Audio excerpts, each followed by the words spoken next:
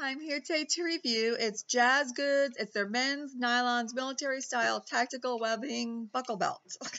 so there's the name of a um, it's a mouthful of a name, but it's the rigger style belt. So if anyone's familiar with the riggers belts, this is pretty much that style. They just didn't attach the name.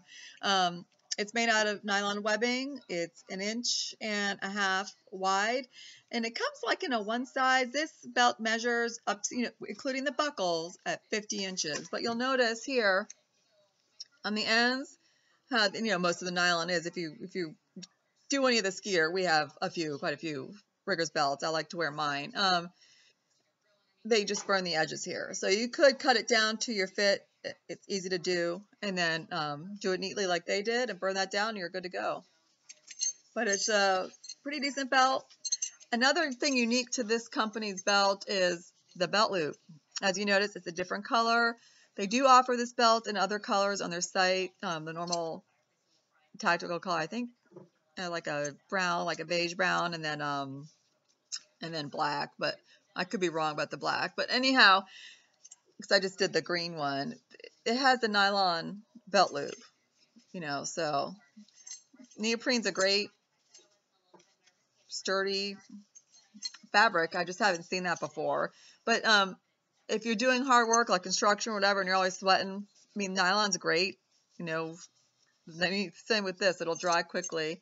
You got the typical really heavy duty belt buckle with that, you know, real easy to do. So, I mean, it's a Great belt.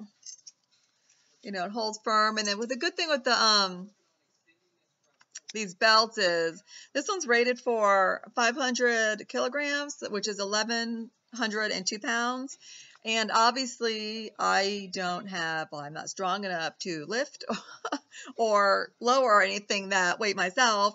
Um, I don't have the means to test that pounds out. Um, I do have my other belts, you know, compare them to this locking magazine, I mean, it it's just not it's not going anywhere.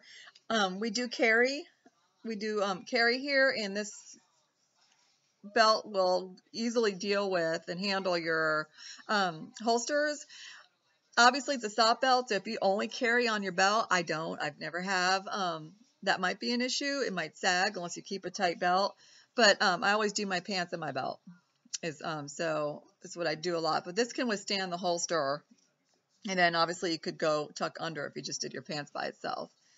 But, you know, women wear their pants lower. We need everything to all hold on.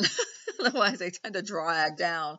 So the stitching on here is only one area of stitching. And that is in this spot. My belt arrived pretty quickly. It had no weird funky odor to it, just a regular nice clean belt ready to go. Um, Oh, it's not bad. It's just a very utilitarian belt.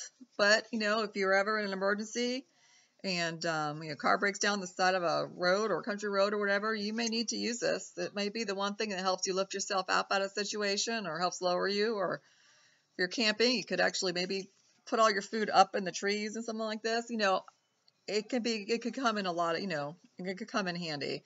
Um, Worst came to worst, I guess. I mean, it's real sturdy. You could technically make your own tourniquet out of this if you had to. So these are neat belts to have. Like I said, we use them. We keep them um, because they're so utilitarian. It's not a bad belt either. So it says um, JasGood's Men's Nylon Military Style Tactical Webbing Belt, one and a half inches wide. It says men's. Ladies, feel free to use these belts. I use them you know, I go back and forth, leather belts. I use my riggers belts. I love them. So, and instead of the Velcro, because I know a lot of the riggers belts have the Velcro, so flap over and Velcro on. They've gone to no Velcro, and then they have this. So it's a little bit different of a style. So it's not too bad. You don't have to worry about always trying to clean all the crap out of the Velcro replacing it. Thanks.